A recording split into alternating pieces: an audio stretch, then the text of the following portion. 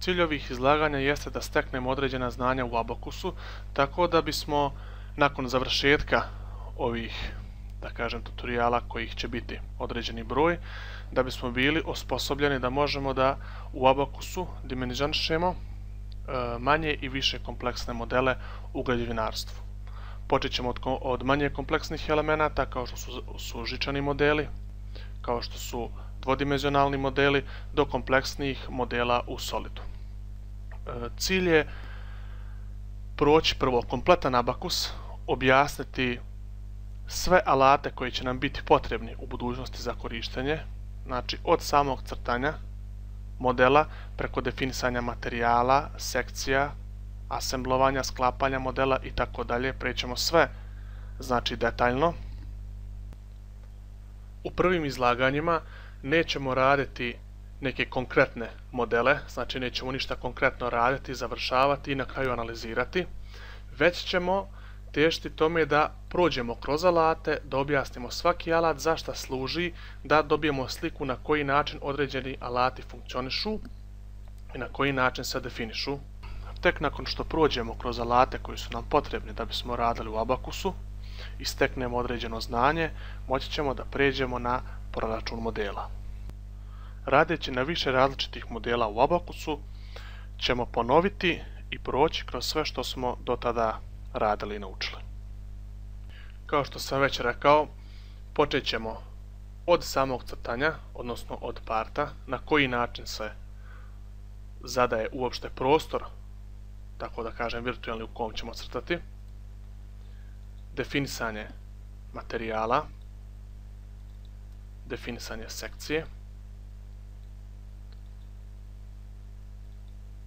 sklapanje modela što ovdje ne možemo otvoriti zato što nemamo još uvijek model, određenih setova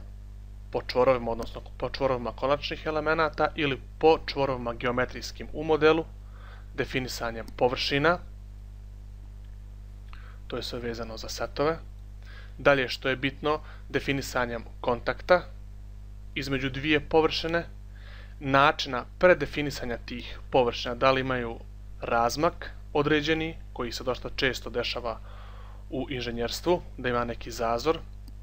prostor između dva elementa koji tek treba da dođu u kontakt i na koji način, tako da kažem, programu definisati taj prostor da bi mogao da izvrši proračun. Određene veze, dva elementa, konektori, odnosno ograničenja u samom modelu i naravno amplitude, opterećenja, granični uslovi.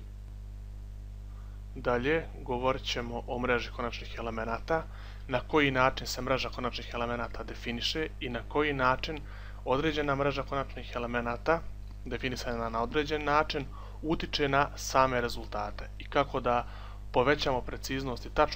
i tačnost, naših rezultata u zavisnosti od izabrane mreže konačnih elemenata. Naravno, govorit ćemo o nizu alata koji mogu reći da su laki za upotrebu, vrlo korisni. Znači to su alati od vidljivosti,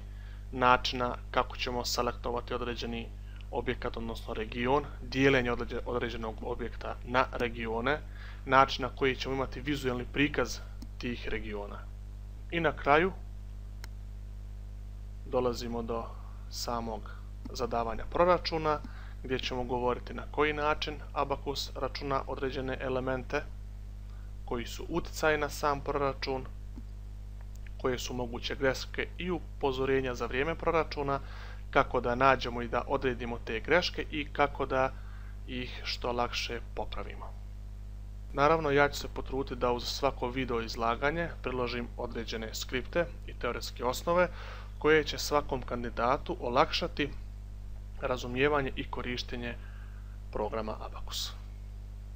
Ako neko ima neka nova znanja ili literaturu koja bi nam mogla biti od pomoći i pri tome je voljan da to podijeli sa drugima, bit će mi drago da nešto novo čujem i naučim. Hvala vam, do idućeg druženja.